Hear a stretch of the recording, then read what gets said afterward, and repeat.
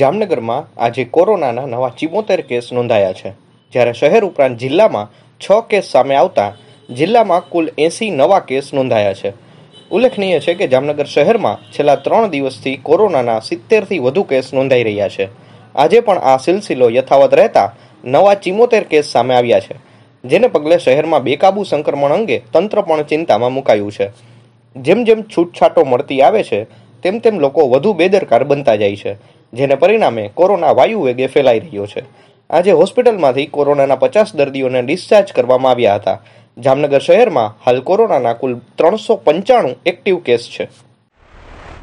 જામનગર જિલ્લાના કાલાવડ અને લાલપુર પંથકમાં છેલ્લા ચોવીસ કલાકમાં પાંચ વખત ધરાધ્રુજી છે.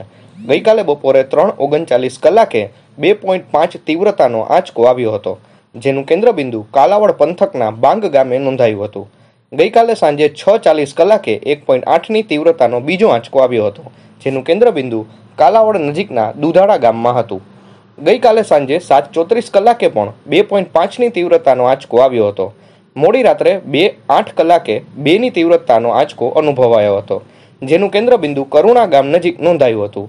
આજે વહેલી સવારે છ અગિયાર કલાકે પણ બે પોઈન્ટ ત્રણની તીવ્રતાનો આંચકો આવ્યો હતો, જેનું કેન્દ્રબિંદુ દુધાળા ગામ પાસે નોંધાયું હતું. ચોવીસ કલાકમાં પાંચ આંચકાથી લોકોમાં ભય ફેલાયો છે. કોરોના સંક્રમણને કારણે રથયાત્રા, જન્માષ્ટમી, ઈદ, ગણેશોત્સવ, તાજિયા વગેરે તહેવારોની ઉજવણી રદ થઈ છે. આગામી દિવસોમાં સરકાર જાહેર મેળાવડાઓ કે કાર્યક્રમો અંગે છૂટ આપશે કે કેમ તે સવાલ છે. એક તરફ કોરોનાનું સંક્રમણ વધી રહ્યું છે, તેની સાથે છૂટછાટ આપવા સરકાર પર દબાણ વધી રહ્યું છે. આ અંગે નવરાત્રી ઉત્સવના આયોજકોએ ભાજપ પ્રદેશ પ્રમુખ સી આર પાટીલને રજૂઆત કરી હતી. રાજકોટમાં તો ઘણા ગરબા આયોજકોએ પૂર્વ તૈયારીઓ શરૂ કરી દીધી છે.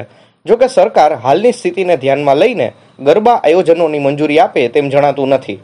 પરંતુ લગ્ન સમારંભમાં છૂટછાટ પછી ગાઈડલાઇનના પાલન સાથે સિનેમા શરૂ કરવાની તાજવીજ થઈ રહી છે, જેને પગલે નવરાત્રીના ગરબા આયોજકોમાં પણ નવી આશા જાગી છે.